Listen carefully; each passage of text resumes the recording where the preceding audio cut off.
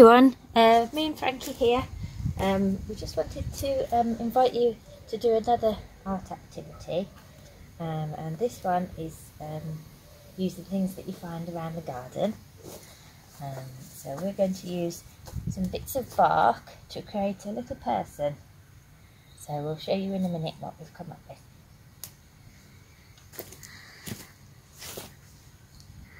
Okay.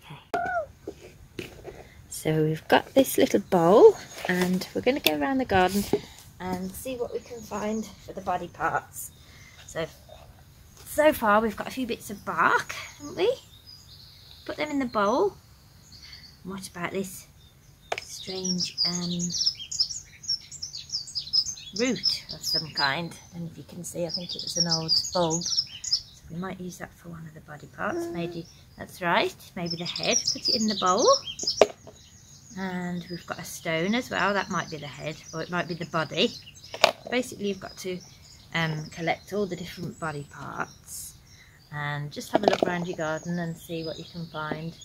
Um, could be leaves uh, flowers feathers uh, sticks and like we said before bits of bark. So we'll carry on collecting. Put that in the bowl. Boy collected so far? Let's have a look. We have the root, bark, flower for the eyes.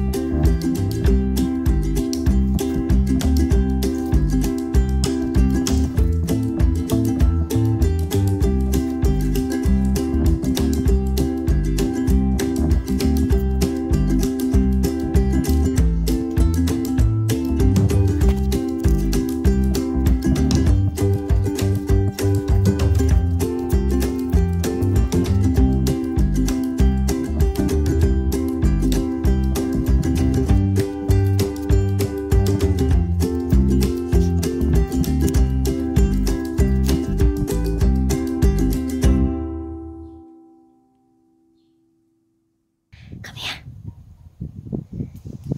Come, Kevin. Come on. Come on. Oh, yeah, we'll put that on.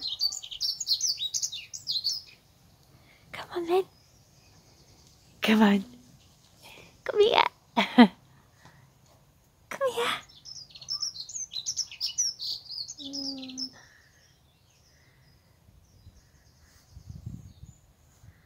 Come on, then.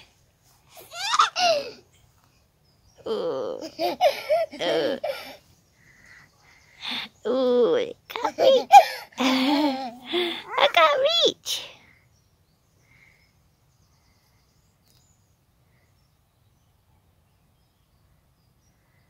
Thank you. Thank you. Thank you. Oh, where should we put that one then? Put it on here.